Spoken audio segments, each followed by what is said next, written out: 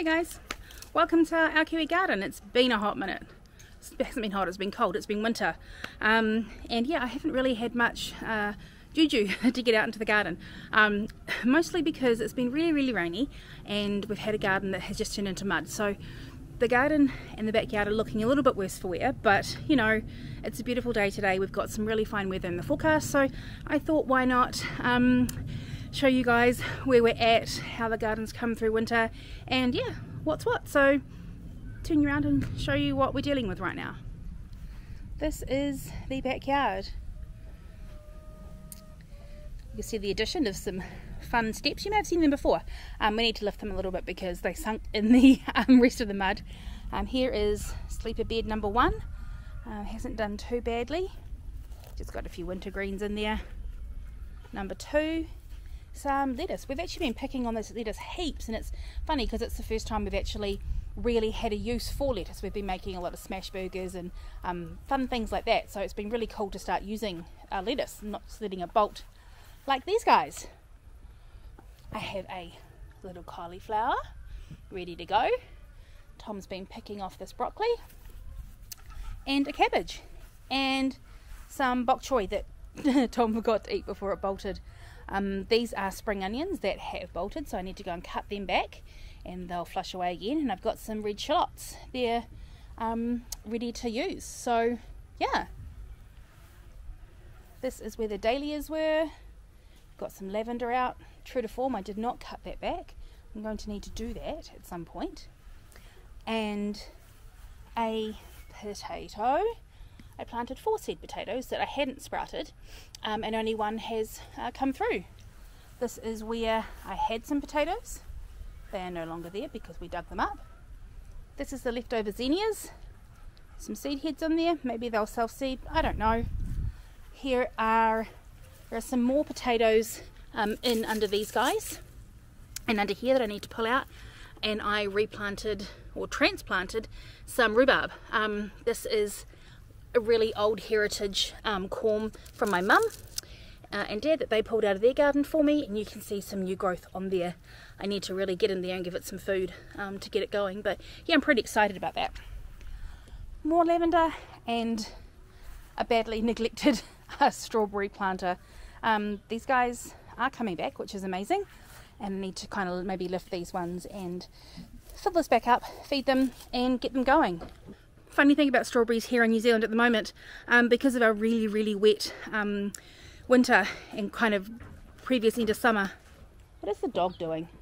I'll show you what she's being a nutter about in a moment. Um, but because of all that, a lot of the um, strawberry, I guess, growers, propagators, I don't mean propagators, anyway, we have a really huge shortage of strawberry plants. Um, the commercial market has been supplied first. Um, so yeah, if we've got them in our garden, we need to lift them, take care of them, um, or you're going to pay about $9 per strawberry plant in a store at the moment to replenish your own um, stores. So yeah, if you can get hands on them. So yeah, I'll take care of those ones later on. I'll show you the next part of the garden. You can see here is the hoop house. It's done really well. A, it didn't blow over. B, it didn't rip. The dog hasn't tried to put her face through it and I'll show you what's in here. And to be honest, I have kind of neglected it. I've opened it every now and then. I have given it some water and some feeding.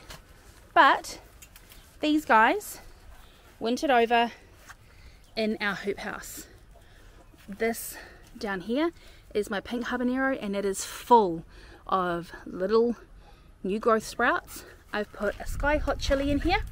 I have uh, an Indian uh, jo- Jowala um, chili, but that got eaten by something. I need to come out here and find out what's in here at night. And yeah, we've got these guys that are really just ready to be fed and trimmed up. Um, I will keep the cover on.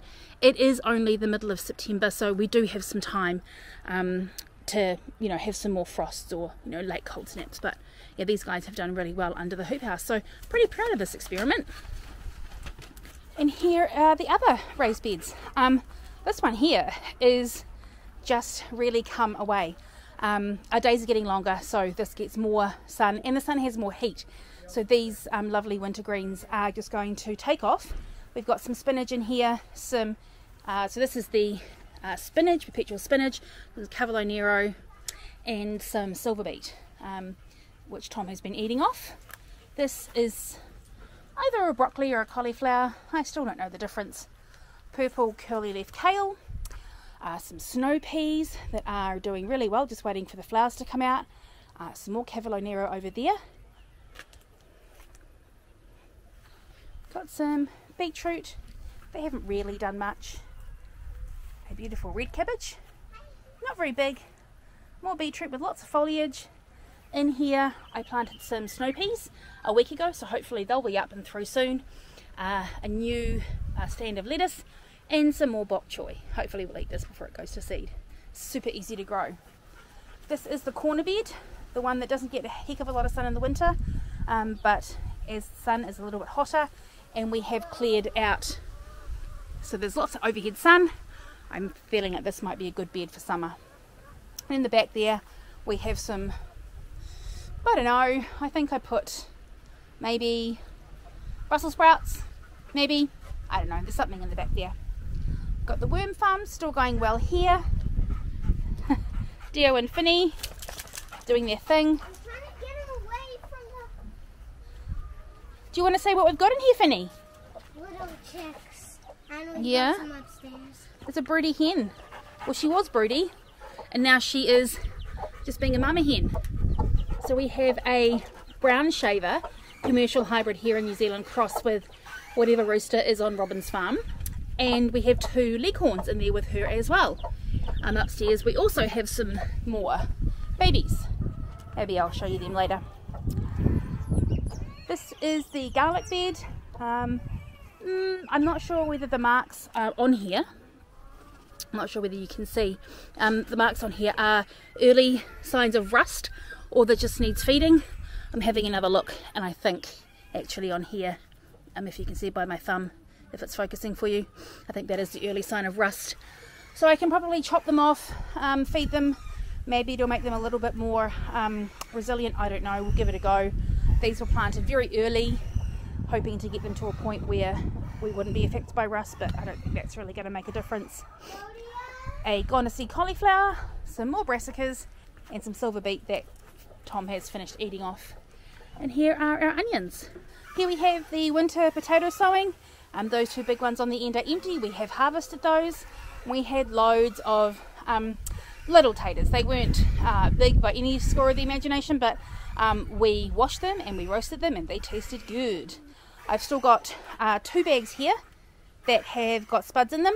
This one here is still growing. Um, I think this was the bag that had the weakest shoot and leftovers. So we'll see how that one fares. Um, yeah, it's been in the spot all through winter. And here we have the muddy pathway back you up. this is what's happened. There's just mud for Africa. Um, it's just ridiculous. So it's been a very muddy. And some clay, yeah. We have lovely clay soil here, don't we, Finny? Here are our here are our pots that are flanking the gate that Finny wanted us to do. Um, they look really pretty. I think this one here you can definitely see this one here gets way more sun than this one, so the violas are a little bit more developed on the other side. But yeah, in a sea of mud, some pretty stuff. And over here is to escape chickens. This is butter and toast. Butter. This one here is butter here, and this one here is toast these guys keep getting out. So I know where it is. We've got to go and figure that out so we can stop them getting out. But they're, they're pretty easy to get back in. Shall we go through Finny? Okay. Why do they keep us Because they're adventure chickens. Through you go.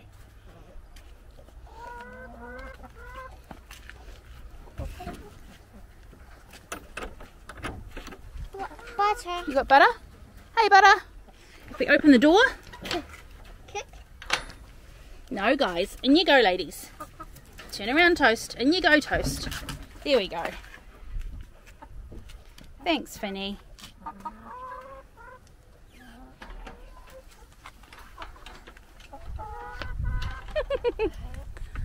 Funny ladies.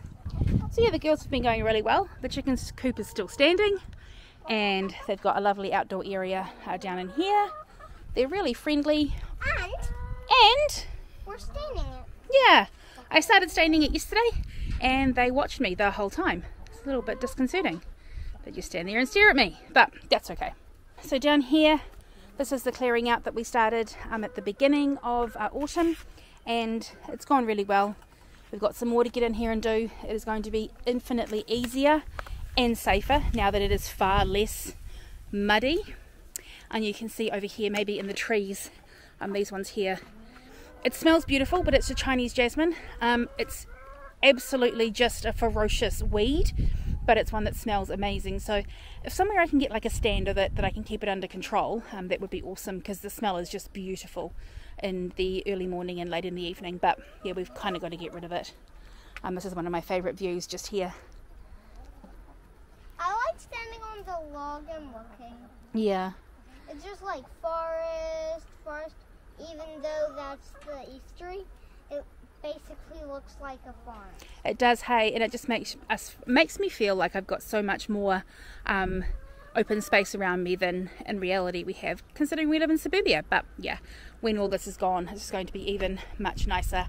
Um, we've got a We're little gonna log make here. our own little like um huts down here. Oh, are you? You got plans? So Tom put a a log in there. We did have um, some pansies and some grass, but as you can see, the girls can pick right through there. And Finny's um, primrose needs some water and to stop being picked. What are they doing? Oh, she'll, are you going to help her with her, fo- her foot? She'll get it through. So yeah, that's the state of the garden at the moment. Uh, that's Robin's bunny. We're taking care of two of Robin's rabbits, um, two guinea pigs uh, while he's in Europe. So uh, currently on this very suburban piece of land, we have seven chickens, uh, nine baby chicks, a dog, two bunnies, and two guinea pigs. Oh, and two cats. And later a lizard or a salamander. Oh, is that your choice, is it? Huh, okay, cool.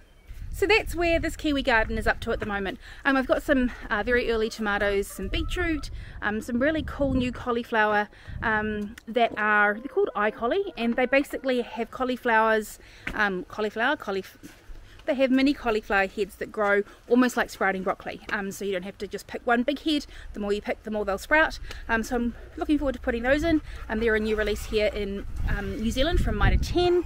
Um, I've got some, yeah, three types of tomatoes, iCollies, broccoli, uh, broccoli, beetroot for Tom, and some more beans or some beans to put in so I'm looking forward to getting that in and actually doing something in the garden so yeah I'm going to get some planting done and I'll show you where I put things afterwards And I've got I'm working on my own mini pot.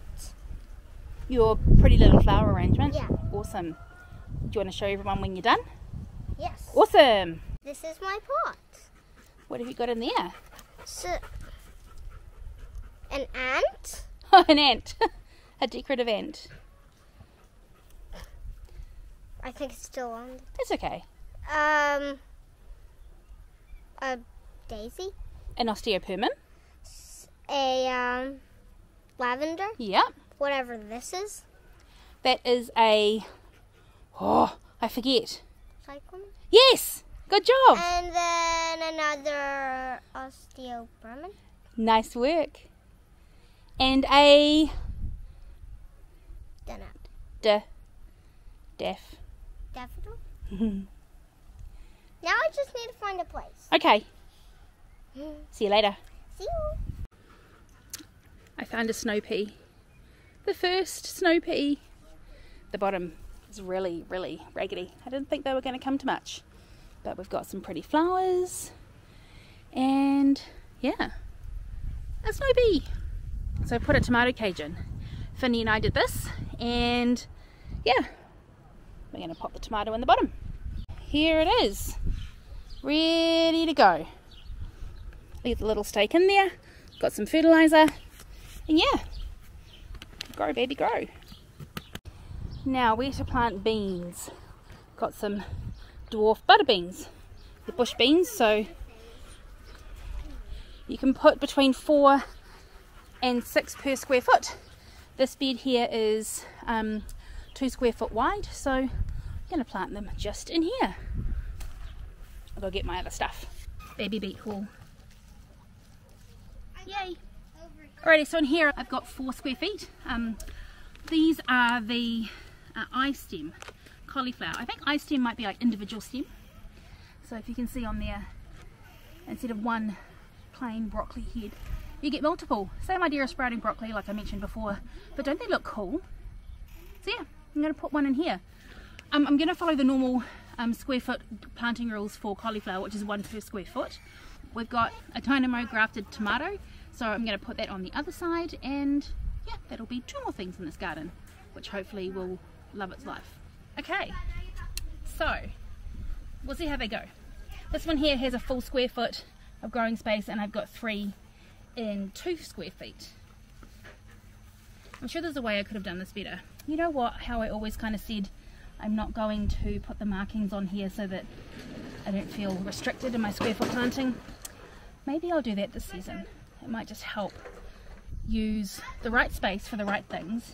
Um, so yeah, I think I might try and do that as my next garden project. But to be honest, today was really about getting out into the garden, um, getting some dirty things again, and just enjoying the sun and doing a little bit of stuff that I've really missed doing over winter. Um, always feel a lot better after I've been out here and I woke up in a bit of a funk this morning so I'm feeling a lot better after being out here.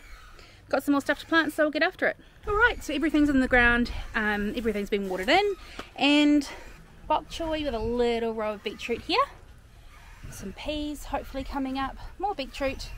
That's the bush beans we put in and that's the eye stem broccoli no, I stem cauliflower. If I forget, it's over here. And a tomato. And over here, some beetroot. And I popped a Sunshine 100 tomato, so like a cherry tomato, over in this one. This is this really nice corner bed that's just doing an amazing job. And one more eye stem broccoli down there. So, no, my goodness, it's cauliflower. What is wrong with me? So yeah, whew afternoon sun and it's windy today. So yeah that's all done and I'm kind of really actually not kind of I'm really happy to have gotten out here and gotten everything planted and got some dirt under my nails and just had a bit of like time in my head um, just to not think about life in general and things like that um, and dream about summer which is bearing down on us very quickly. So yeah um, thanks for joining. It though it's been a while um, and if you've watched the end of the video um, maybe welcome to spring, welcome to summer. If you're heading into autumn in your um, part of the world, um, I'd love to hear about what your favourite part of your favourite season is. Mine is definitely spring. If you could like the video and even think about subscribing, that would be really awesome. It kind of gives me a bit of a boost each time I get someone new who says, hey, I'd like to see more of what you're doing. Um, and yeah, pop your favourite season down below and what you love about it. Uh, we can compare notes. Bye guys.